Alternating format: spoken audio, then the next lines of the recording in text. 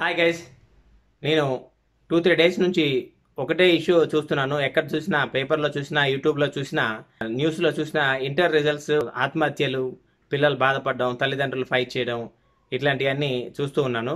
ముఖ్యంగా ఇన్ని విషయాలు ఎందుకు జరుగుతున్నాయి అంటే ఎంసెట్లో ఇంటర్ వెయిటేజీ ఉండడం వల్ల.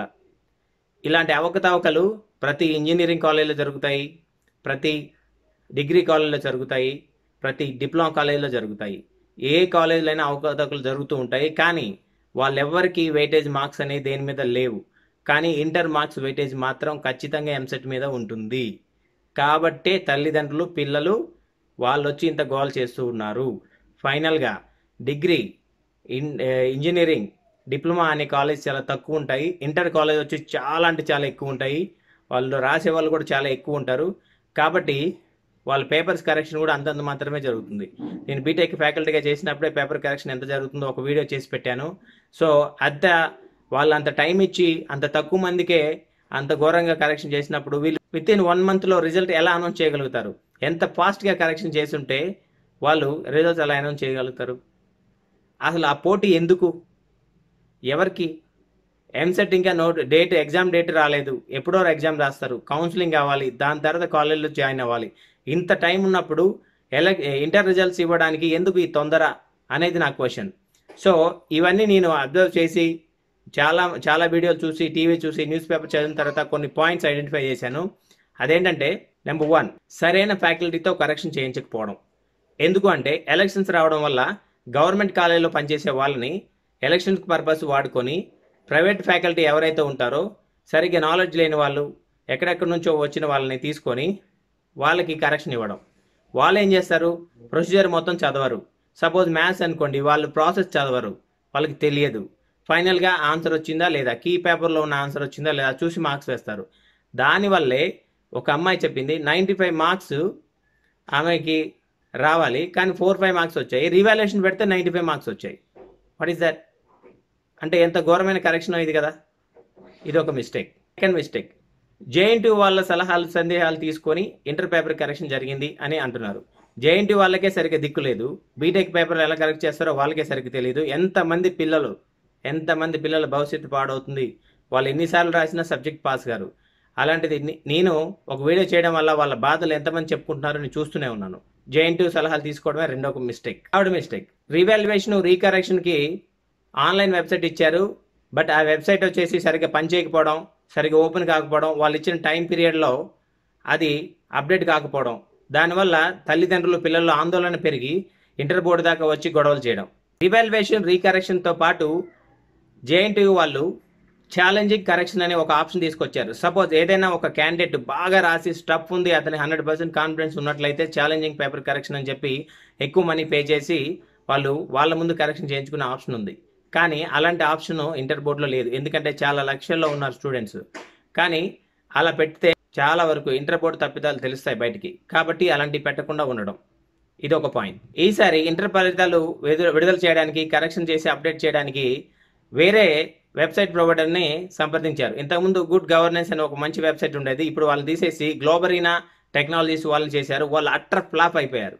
ఎంత అటర్ ఫ్లాప్ అంటే ఒక స్టూడెంట్ చెప్పాడు ఒకసారి అతను హాల్ టికెట్ ఎంటర్ చేసి మార్క్స్ చూసుకుంటుంటే వాళ్ళు ఆబ్సెంట్ ఫెయిల్ అని వచ్చిందంట. ఇంకోసారి చూస్తుంటే ఆబ్సెంట్ పాస్ అని వచ్చిందంట. ఇంకోసారి చూస్తుంటే ఇంకో విధంగా వచ్చింది. అంటే ప్రతిసారి హాల్ టికెట్ ఎంటర్ చేసినప్పుడు డిఫరెంట్ డిఫరెంట్ మార్క్స్ రావడం డిఫరెంట్ డిఫరెంట్ స్టేటస్ చూపించడం జరిగింది. సో ఇది ఎంత వరస్ట్గా వాళ్ళు మెయింటైన్ చేశారో మీరు అర్థం చేసుకోగలుగుతారు.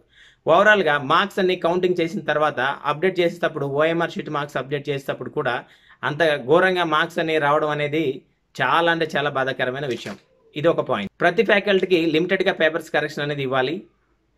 ఆ పేపర్స్ కరెక్షన్ ఇవ్వకుండా వాళ్ళకి forty to forty five papers ఇచ్చారు అంటే వన్ డేలో అంటే వాళ్ళకి టెన్ టు ఫిఫ్టీన్ మినిట్స్ టైమే ఒక పేపర్ కరెక్షన్ చేయడానికి ఉంది. అంటే వాళ్ళు ఎంత ఘోరంగా కరెక్షన్ చేసి ఉంటారు అదే అసలైన ఎక్స్పీరియన్స్ ఫ్యాకల్టీ కూడా కాదు. సో ఇన్ని లక్షల మంది పేపర్ కరెక్షన్ చేయడం అది వన్ మంత్లో రిజల్ట్ ఇవ్వడం అనేది చాలా హారిబుల్ థింగ్ జేఎన్టీ వాళ్ళని చూసుకున్నట్లయితే ఎన్నో కొన్ని వేల మందే ఉంటారు కొన్ని కాలేజీలో ఉంటాయి.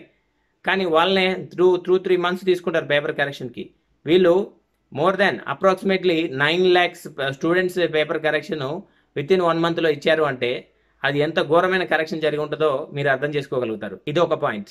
వెబ్సైట్ని సరిగా మెయింటైన్ చేయకుండా దాంట్లో ఉన్న ప్రాబ్లమ్స్ ఐడెంటిఫై చేయకుండా వాళ్ళు చేసే పద్ధతి కరెక్ట్గా లేకపోవడం.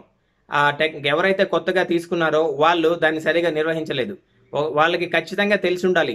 ఎప్పుడైతే హాల్ టికెట్ డౌన్లోడ్ ఉంటుందో ఎప్పుడైతే పేపర్ కరెక్షన్ రిజల్ట్ బయటికి అనౌన్స్ చేస్తారో ఎప్పుడైతే రివాల్యుయేషన్ రీకౌంటింగ్ పెడతారో అట్లాంటి టైంలో ట్రాఫిక్ ఎక్కువ ఉంటుంది. నెంబర్ ఆఫ్ పర్సన్స్ ఒకేసారి వచ్చి అని హిట్ చేస్తూ ఉంటారు. సో అప్పుడు ఏమైంది జామ్ అయిపోద్ది సర్వర్ డౌన్ అయిపోద్ది. సో వాళ్ళ ఆల్టర్నేట్ సర్వర్ మెయింటైన్ చేసుకుని మెయింటైన్ చేస్తూ ఉండాలి. మీరు అదే జేఎన్టీయూ రిజల్ట్స్ కానీ చూసుకున్నట్లయితే JNTU result one two three అనే ఇట్లా డిఫరెంట్ ఆప్షన్స్ ఉంటాయి. ఒక సర్వర్ కాకపోతే ఇంకో సర్వర్ ఉంటుంది. సో అట్లాంటి వాళ్ళు మెయింటైన్ చేయకపోవడం. ఇట్లా వెబ్సైట్ మెయింటైన్ చేయడంలో అట్ర ఫ్లాప్ అయిపోయారు ఆ టెక్నాలజీ వాళ్ళు. సో అలాంటి వాళ్ళని చూస్ చేసుకోవడమే పెద్ద తప్పు. అదొక పాయింట్. రిజల్ట్స్ని ఎర్లీగా రిలీజ్ చేయాల్సిన ఆతృత ఏముంది? బీటెక్ కౌన్సిలింగ్ వచ్చినప్పుడు చాలా టైం పడుతుంది.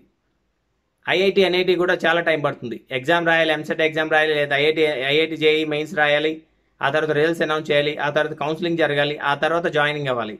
ఆల్మోస్ట్ మీకు ఆగస్ట్ సెప్టెంబర్ అక్టోబర్ ఒక్కోసారి నవంబర్ కూడా అవుతుంది. బట్ ఎవరితోనో పోటీ పెట్టుకొని ఇమీడియట్గా రిజల్ట్ అనౌన్స్ చేసి వీళ్ళ స్థాయి ఏంటో పెంచుకోవాలనే ఉద్దేశంతో గ్రాండ్గా ఓపెన్ చేసి న్యూస్లో అందరికీ అనౌన్స్ చేసి చెప్తూ ఉంటారు. కానీ అంత అర్జెంట్ ఏముంది? ఇప్పుడు పదహారు మంది పిల్లలు చనిపోయారు.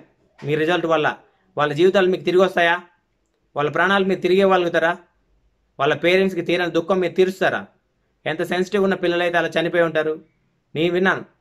తొంభై మార్కులు వచ్చినప్పుడు ఇంటర్ ఫస్ట్ ఇయర్లో సెకండ్ ఇయర్లో ఫోర్ ఫైవ్ మార్క్స్ ఎలా వస్తాయి? అదే క్యాండిడేట్ అదే మ్యాథ్స్ చేస్తాడు. సెకండ్ ఇయర్లో ఎన్ని మార్క్స్ తెచ్చుకోరు? ఒక అబ్బాయి చెప్తున్నాడు. కాలేజీలో తను టాపర్ టాపర్ అంట. తనకి four five marks six marks ఎన్నో వచ్చాయంట మ్యాథ్స్లో ఎలా? అంటే ఎంత ఘోరమైన కరెక్షన్ మీరు అర్థం చేసుకోగలుగుతారు. ఇది ఒక పాయింట్. నేను త్రీ ఇయర్స్ నుంచి చూస్తున్నాను. త్రీ ఇయర్స్ కూడా ఇదే విధంగా జరుగుతుంది. ఎగ్జామ్ రిజల్ట్ వచ్చినప్పుడు ఖచ్చితంగా పిల్లలు వెళ్ళడం పేరెంట్స్ వెళ్ళడం బోర్డు దగ్గర వాళ్ళు గొడవ చేయడం నాంపల్లి బోర్డులో. నాంపల్లిలో గొడవ చేసి తర్వాత రీవాల్యుయేషన్ రీకౌంటింగ్ పెట్టుకోమండం. ఇదంతా సహజంగా ఉంది అని చెప్పేసి వాళ్ళు చెప్తున్నారు. ఇది ఎంత బాధాకరమైన విషయం. కానీ ప్రతి సంవత్సరం లాగా ఇప్పుడు పదహారు మంది చచ్చిపోయారు. ప్రతి సంవత్సరం వాళ్ళు చనిపోలేదు కదా. అంటే ఎంత ఘోరంగా రిజల్ట్ వచ్చింటే చనిపోయారు? చెప్పండి. ఇంటర్ బోర్డు వాళ్ళు చేసిన తప్పు ఏంటంటే వాళ్ళు ఎవరికైతే వెబ్సైట్ మెయింటెనెన్స్ ఇచ్చారో ఎవరికైతే ఫ్యాకల్టీకి ఇచ్చారో వాళ్ళ మీద సరైన అవగాహన దృష్టి లేకపోవడం. ప్లస్ వీళ్ళు ఎలక్షన్ పర్పస్లోనో ఇంకే పర్పస్లోనో బిజీ అయి ఉండడం. సో ఇంటర్ బోర్డు వాళ్ళది కూడా పెద్ద తప్పు ఇక్కడ. ఇదొక పాయింట్. ఫైనల్గా టెన్త్ పాయింట్. ఇందులో విద్యాశాఖ మంత్రి గారు ఆయన చాలా కూల్గా మాట్లాడుతున్నారు. అదే తన పిల్లలకో తన బంధువుల పిల్లలకో ఎలా ఆత్మహత్య ఏమైనా జరిగి ఉంటే ఎంత బాధపడతారో ఒకసారి ఆలోచించాలి. ఎంత సింపుల్గా మాట్లాడుతున్నారంటే అంత సింపుల్గా మాట్లాడుతున్నారు. ఎడ్యుకేషన్కి సంబంధించిన డీటెయిల్స్ చూసుకోవాలి. చూసుకున్న నిజంగా చూసుకున్నట్లయితే ఆ వెబ్సైట్ వాళ్ళని కానీ ఆ బోర్డు వాళ్ళని కానీ ఆ ఫ్యాకల్టీని కానీ ఒక్కోసారి బయటికి రిలర్స్ అనౌన్స్ చేసే ముందు ఒక్కసారి వెరిఫై చేసుకున్నట్లయితే వాళ్ళు first year second year marks ఎలా వచ్చినాయో ఒక్కసారి తెలుసుకున్నట్లయితే ఇంత పెద్ద తప్పిదం ఇంతమంది ప్రాణాలు పోయేవి కావు ఇంత రభస జరిగేది కాదు. ఇప్పుడు ఇలాంటి చిన్న విషయం వల్ల ఇంత పెద్ద న్యూస్ అయిపోయింది. ఇప్పుడు నెక్స్ట్ టెన్త్ క్లాస్ రిజల్ట్స్ ఉన్నాయి. వాళ్ళకి ఎంత భయంకరంగా వస్తున్నాయో. ఇంటర్ వాళ్ళకంటే టెన్త్ క్లాస్ వాళ్ళు ఇంకా చిన్న వాళ్ళు ఇంకా చాలా సెన్సిటివ్ అప్పుడే అలారం ముద్దుగా పెంచుకున్న పిల్లలు టెన్త్ క్లాస్ రాసి బయటకు వచ్చి హ్యాపీగా ఉంటారు. వాళ్ళ పేరెంట్స్ నాకు అదే భయంగా ఉంది. టెన్త్ క్లాస్ రిజల్ట్ వచ్చిన వాళ్ళే వా- ఇట్లాంటి రిజల్ట్స్ చూసినట్లయితే వాళ్ళు ఎంత ఘోరంగా రియాక్ట్ అవుతారో ఏ విధంగా అవుతారో అనేది భయంగా ఉంది. సో అయ్యా ఇప్పుడైనా సరే మీరు టెన్త్ క్లాస్ రిజల్ట్స్ అనౌన్స్ చేసే ముందు కొంచెం ఒకసారి చెక్ చేసుకొని ఆ వెబ్సైట్ వాళ్ళకి కానీ ఆ టెన్త్ క్లాస్ బోర్డుకి కానీ ఒకసారి వెళ్ళి చెక్ చేయండి. చేతులు కాలిన తర్వాత వచ్చి ఏదైనా చూస్తా అంటే దానివల్ల ప్రయోజనం లేదు. నా సిన్సియర్ రిక్వెస్ట్ స్టూడెంట్ జీవితాలతో ఆడుకోకండి. వాళ్ళ జీవితం ఎంతో ముఖ్యమైంది. మీకు రేపొద్దున ఓట్లు కావాలన్నా కానీ వాళ్ళే వేస్తారు. వాళ్ళకి ఎయిటీన్ ఇయర్స్ వచ్చిన తర్వాత ఓటు ఖచ్చితంగా వేస్తారు. కాబట్టి వాళ్ళని పట్టించుకోండి కొంచెం. వాళ్ళకి ఓటు హక్కు లేదని ఇట్లా వదిలేయకండి ప్లీజ్. స్టూడెంట్స్ మీకు మీ తల్లిదండ్రులకి నేను చెప్పేది ఒకటే. ఇప్పుడు మీరు చేయాల్సిందంటే నా సలహా ప్రకారం రివాల్యుయేషన్ రీకౌంటింగ్కి టైం అడగడం ఛాలెంజింగ్ రీకౌంటింగ్ ఆ రీవాల్యుయేషన్కి అలాంటి పద్ధతి తీసుకురావడం. ఎందుకంటే మీ ముందే మీ పేపర్లే వాళ్ళు కరెక్షన్ చేసినట్లయితే మీకు ఎన్ని మార్క్స్ ఉంటాయో మీకు తెలుస్తుంది. ఒక మంచి ఫ్యాకల్టీతో కరెక్ట్ చేయించండి. అట్లాంటి దాన్ని అడగడం లేదు అంటే ఉస్మానియా యూనివర్సిటీలో చేసినట్లు ప్రతి పేపర్ని స్కాన్ చేసి అప్లోడ్ చేసి ఆన్లైన్లో కరెక్షన్ మార్క్స్ ఇచ్చి ఆన్లైన్లో రిజల్ట్స్ పెడతారు. అలా చేయడం ప్లస్ ముఖ్యంగా హడావుడి లేకుండా కరెక్షన్ చేయడం. ముందే వచ్చేసి మనం ఒలింపిక్లో ఏ గోల్డ్ మెడల్ సాధించాల్సిన పని లేదు. వన్ మంత్లో ఫిఫ్టీన్ డేస్లో రిజల్ట్స్ ఇచ్చామని గేట్గా చెప్పుకోవడానికి అవసరం లేదు. పిల్లల జీవితాలతో ఆడుకోకుండా ఉంటే చాలు. అది వన్ మంత్ అయినా టూ మంత్స్ అయినా మీకు ఎంసెట్ రాయడానికి జాయినింగ్ అవ్వడానికి చాలా టైం పడుతుంది. కాబట్టి రిజల్ట్ లేట్గా వచ్చినా కరెక్ట్గా వస్తే చాలా వరకు ఇట్లాంటి ఆత్మహత్యలు జరగవు. ఇట్లా మీరు వెళ్ళి రోడ్లెక్కి గొడవలు చేయాల్సిన పని లేదు. అందరూ హ్యాపీగా ఉంటారు. ఇంకా మీకు సబబు అనుకుంటే అసలు ఇంటర్ మార్క్స్ వెయిటేజ్ లేకుండా చేయండి. మీ ఎంసెట్ ర్యాంక్ మీదే మీరు ఆధారపడండి. కాబట్టి దానివల్ల మంచి రిజల్ట్ వస్తాయి మీకు. ఈ తొందర అనేది ఉండదు. ఇది నా సలహా.